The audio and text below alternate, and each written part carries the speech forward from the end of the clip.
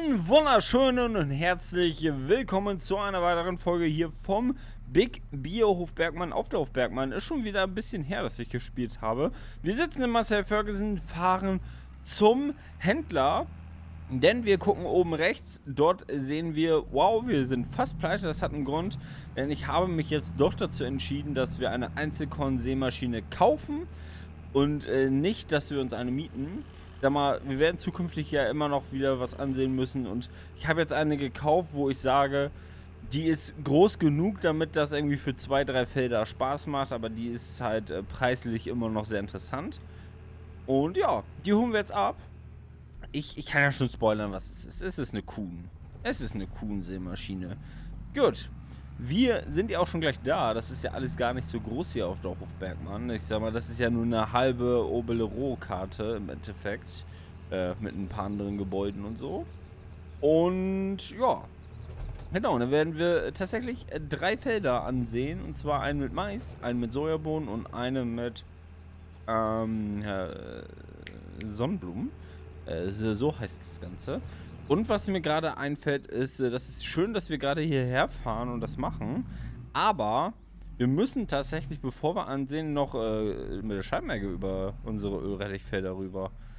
Das ist, äh, ja, das macht ja voll Sinn. Das heißt, wir werden jetzt gleich mal den Serion losschicken mit der Scheibenecke und äh, Kursplay, dass er ein bisschen vorarbeitet. Das werden wir jetzt auch direkt machen. Das heißt, ich setze mich dann doch nochmal ordentlich hin. Und äh, wie ihr vielleicht schon mitbekommen habt, ich produziere gerade vor, weil ich bin ab übermorgen auf dem Wacken Open Air und bin dann erstmal für eine Woche weg und äh, ich wollte trotzdem, dass ihr nochmal ein, zwei Videos habt. Ich habe jetzt nur Euro-Projekt, habe ich noch ein Video für euch vorproduziert und jetzt mache ich noch mindestens dieses eine Video Big Beer Hof Bergmann, dann habt ihr jedenfalls äh, zwei Folgen in der Woche äh, zum Angucken. Es ist ja, da habt ihr ein bisschen was zumindest. Mehr habe ich aber auch leider nicht geschafft. Vielleicht schaffe ich es heute aber auch noch eine zweite Folge aufzunehmen. Mal gucken. Muss ich das morgen schneiden und morgen muss ich eigentlich packen? Ich habe viel zu wenig Zeit. Dieses, dass ich gestern auf eine Veranstaltung arbeiten musste, spontan, das hat mich zeittechnisch richtig rausgekickt. So. Jetzt müssen wir mal gucken. Äh, der Serion ist noch eingeparkt, ne? Das heißt, den müssen wir so, jetzt mal ranhängen, ins Fahrzeug einsteigen. Dann fahren wir mal ganz schnell zu unseren wunder, wunderschönen Scheibenegge. Den kann er auch gleich loslegen. Auf dem Maisfeld, das ist Feld Nummer 7, habe ich mir für Mais ausgesucht. So. Rückwärts ist er ganz schön langsam, muss man wirklich sagen. Gut. Da steht die Scheibenegge. Die gute Kinsey. Und dann schicken wir ihn gleich mit Cosplay los. Ja, ich habe mich um die Tiere und so schon gekümmert. Der ist nach wie vor so windig wie ein Stein, der Serion. Ähm, ja, die Tiere sind glücklich, die sind äh, gut versorgt. Und ja. wir können uns jetzt um die Aussaat kümmern. Ein bisschen Düngen und so. Wir haben ja noch ein bisschen Mist und Gülle auf Lager. Und dann machen wir mal Cosplay fertig. Das ist jetzt Feld Nummer 7. Da haben wir wahrscheinlich noch gar keinen Cosplay-Kram äh, für gemacht, ne? Äh, ich bin doof da. Guck mal. Doch, Feld Nummer 7 haben wir Saat 8 Meter. Wie breit ist unsere Kinsey eigentlich? Ich habe keine Ahnung, wie breit die ist. Ich würde aber sagen, wir machen hier einen neuen Kurs. Wir fertig, wir klappen die mal aus. Die müsste auch so 8 Meter sein, ne? Okay. Ähm. Job erstellen. Zielposition Vielleicht nicht in so eine sch schöne Richtung, sondern hier so. Okay. Hm, erster Wegpunkt starten, ja, das macht ja Sinn. Kursgenerator öffnen, Arbeitsbreite 8 Meter, okay. Äh, Fahrzeug öffnen, Kurs 1, ja, Vorgewende 3 können wir auch machen. Ähm, Starter auf Bahn finde ich auch gut. Hier können wir eigentlich 10% Überlappung machen, das reicht eigentlich komplett aus. Im Kreis, bla bla bla. Dann probiert rein überspringen. Ein ist auch ganz gut. Äh, generiere Feldkurs. Und dann können wir den auch direkt speichern hier, in dem hier, Kurs speichern, hier rein. Und nennen ihn äh, Scheibenegge. Scheibenegge 8 Meter. Okay. Hier habe ich, glaube ich, immer noch das Feld. Nee, das Feld habe ich hier äh, fast nie mit eingetragen. Okay. Scheibenegge 8 Meter ist richtig. Dann starten wir den Kurs. Hä? Bin ich jetzt doof? Feld 7, Scheibenegge 8 Meter.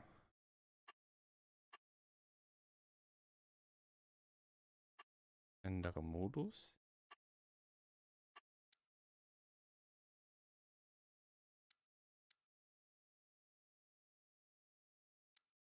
Was laden.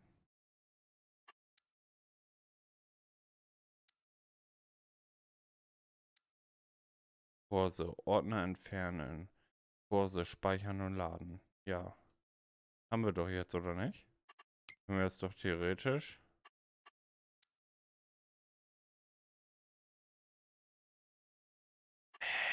Ich bin zu doof dazu, Job erstellen.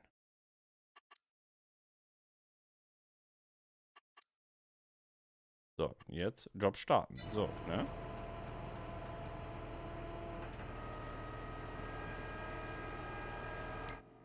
Was machst du da?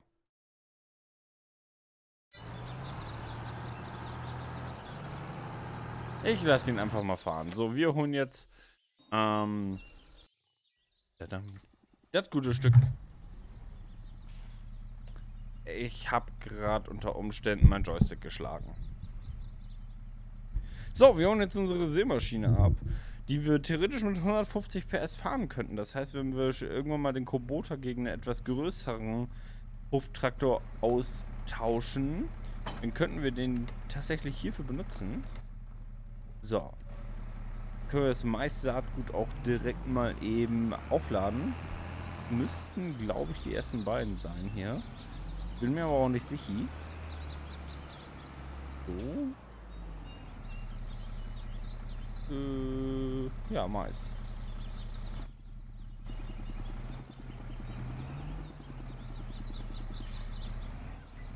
Warum kann ich denn jetzt nicht... Was ist denn jetzt sein Problem hier? Warum kann ich denn nicht...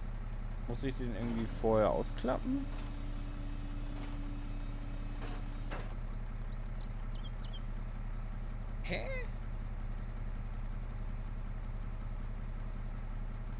Gibt es irgendeinen komischen Grund, warum ich die jetzt nicht auffüllen kann?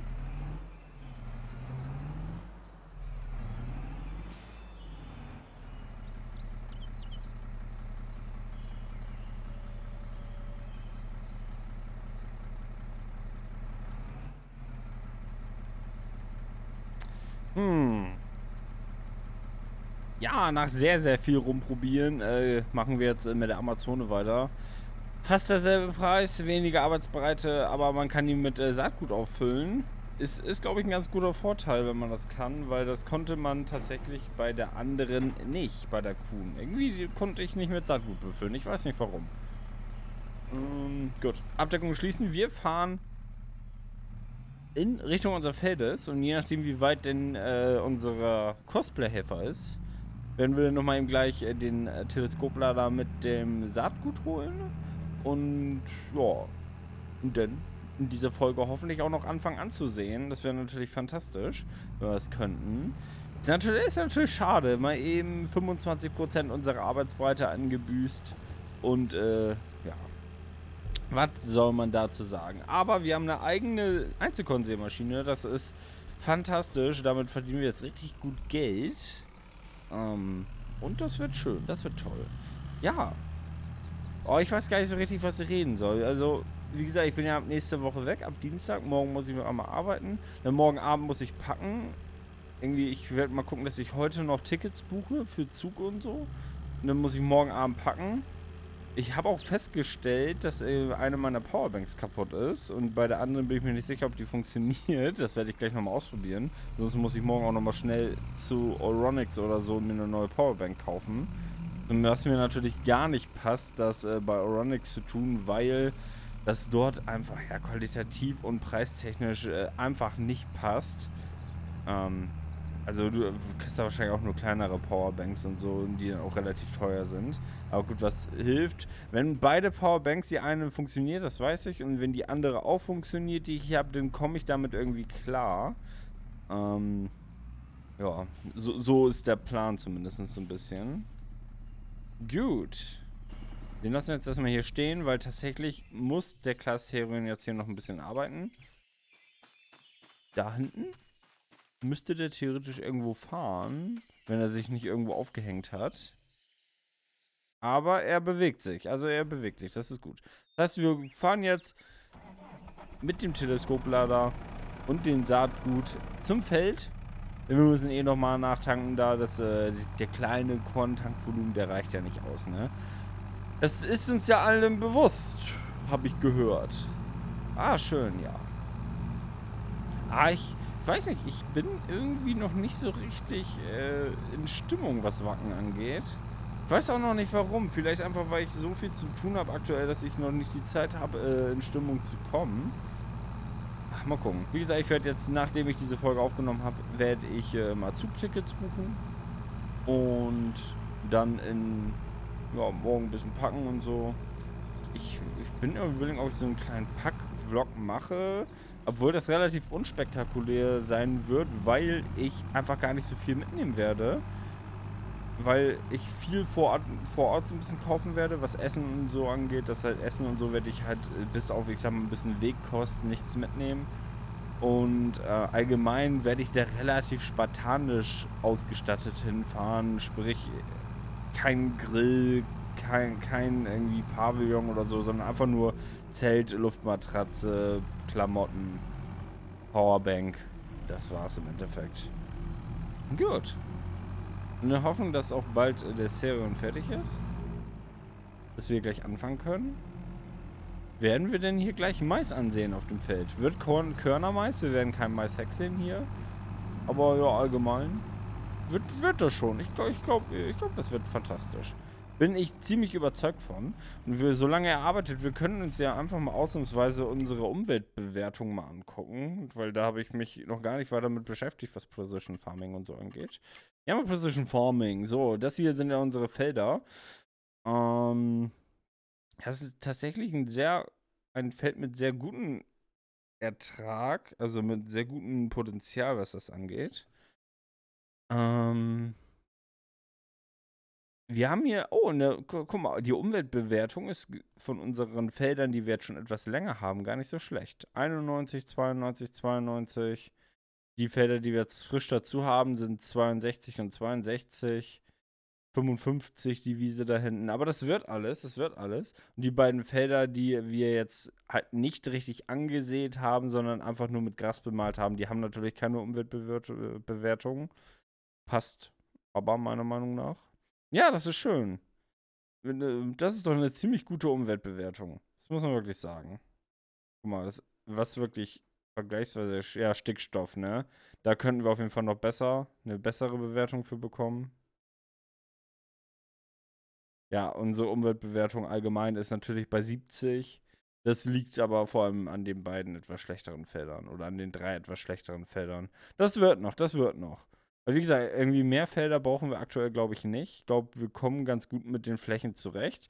Da sollten wir jetzt erstmal gucken, dass wir in anderen Bereichen wachsen. So. Motor aus. Denn, äh, oh, ja, warte ich mal, bis der Serie nicht fertig ist. Das dauert ein bisschen und dann äh, läuft das. Vielleicht auch nicht. Dann wollen wir mal, würde ich sagen. Ich habe gerade noch mal eben den Verkehr ausgeschaltet, weil der hat unseren Cosplay-Helfer echt in den Wahnsinn getrieben. Dann würde ich sagen, schalten wir die Seemaschine an, setzen einen A-Punkt, automatische Arbeitsbreite. Wow, also wir fahren relativ schnell, das habe ich jetzt nicht so erwartet. Und äh, wenn ich ganz ehrlich bin, so. Ähm, man sieht es auch unfassbar schlecht, äh, wie hier gesät wurde oder wo hier gesät wurde auf den Scheiben geeckten. Aber damit kommen wir klar, würde ich sagen. Sag mal, wir, wir, wir sind ja gut. So. Und bei Mais ist es ja so, dass wir Vorgewände vorher machen können. Das ist bei, äh, bei Weizen und so ja nicht so. Da macht man das Vorgewende später. Bei Mais macht man das Vorgewende eigentlich immer vorher. Warum das jetzt genau so ist, kann ich euch nicht erklären. Ist aber so. Ähm, es funktioniert, sagen wir es so. Ja, mit viereinhalb Meter Arbeitsbreite haben wir natürlich jetzt gut was zu tun bei den drei Feldern. Das dauert natürlich doppelt so lange wie äh, mit der Bogo. Uh, aber ich sag mal, auch damit kommen wir irgendwie klar, ne? Auch damit kommen wir klar. Aber der Verbrauch ist relativ hoch. Wir haben jetzt schon über 10% verbraucht und wir sind noch nicht sonderlich weit. Das finde ich doch relativ krass. Aber gut, Precision Farming regelt das Ganze, ne? Also den Verbrauch zumindestens. Mal schauen, wo wir am Ende enden.